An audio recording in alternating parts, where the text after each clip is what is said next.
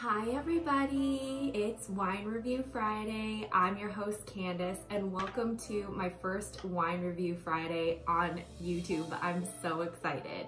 So for those of you that didn't watch my Wine Review Fridays on my Instagram account, basically I review a new wine every Friday. Currently I have a membership through Winc Wine. So every month I get four new bottles of wine, two reds and two whites, and every single Friday I'll be reviewing these wines. I read the descriptions, I never read them before I hop on here so you can get my real-time reaction. So without further ado, let's jump into our very first wine. This week's wine is a red blend. It's a 2019 Point de Passage. So that's the other thing I should probably talk about. I am just a regular girl. I don't have any knowledge about wine except what I've been told at wineries. I am just a regular everyday person who's trying to learn a little bit more about wine and kind of expand my palate a little bit. So a lot of the time I can't pronounce words. Birds, varietals, pretty much anything that's not English and sometimes even English, honestly, I uh, struggle through. So that's part of what makes this channel what it is. I'm just a regular everyday girl trying to expand her palate. So back to today's wine. So 2019 Point de Passage Red Blend. This is a medium bodied dry wine. Um, it looks like it's very heavy on the fruit and there's a little bit of earth in there.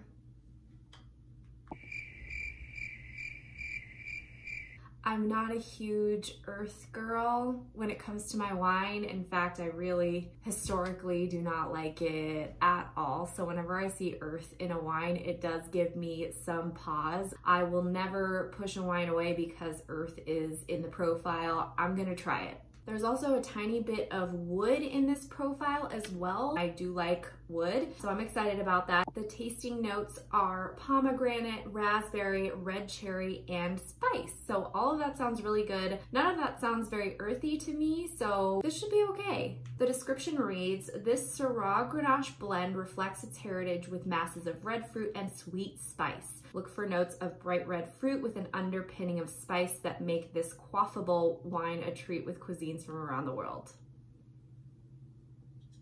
Quaffable. so it says this wine pairs well with pizza, lamb, cheeses, and cured meats. Let's jump into this thing. So first we always swirl and sniff. It's best to set your wine down on a hard surface so you can give it a good swirl, but my desk is pretty low down here, so I'm just gonna swirl it like this. And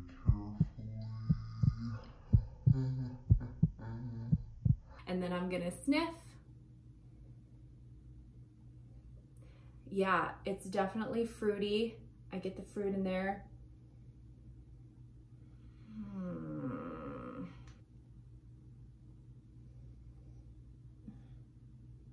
I feel like I'm getting some earth. Yeah, it, it smells like a lot of earth to me. Red blends are kind of hit and miss for me. It's either it's fine or I really don't like it. I've never met like a chef's kiss red blend. I'm not sure about the scent, but we never judge a bitch by her scent over here. So let's go ahead and taste.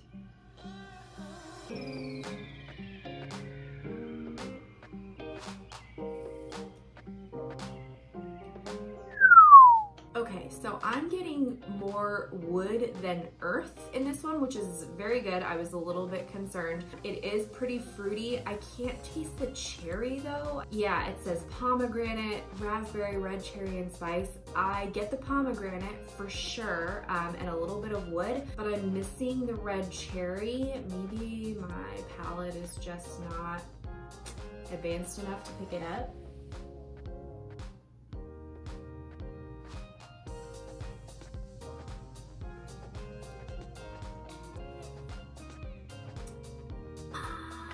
Yeah, I mean, this wine is kind of like I was saying, red blends I'm kind of just eh, or definitely don't like. This one I, I think I'm just kind of like, yeah, she's, she's a red blend. I mean, am I gonna drink it? Yeah. if you're a fan of the Grenache and the Syrah, I get both of those in here. It's It is a medium bodied red, so with summer coming, it might not be your best option, but I'm gonna give this a three, three and a quarter stars out of five please take into consideration that I have literally zero wine knowledge except for what I've read. So what do my stars mean? Jack.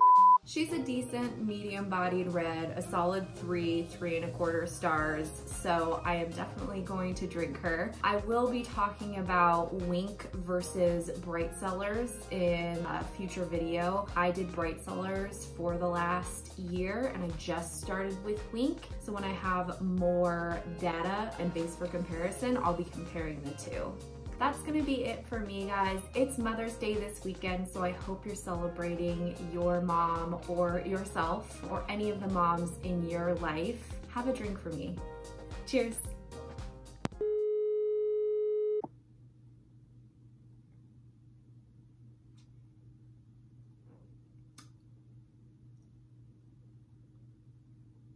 Yeah, it's just, it's just fine.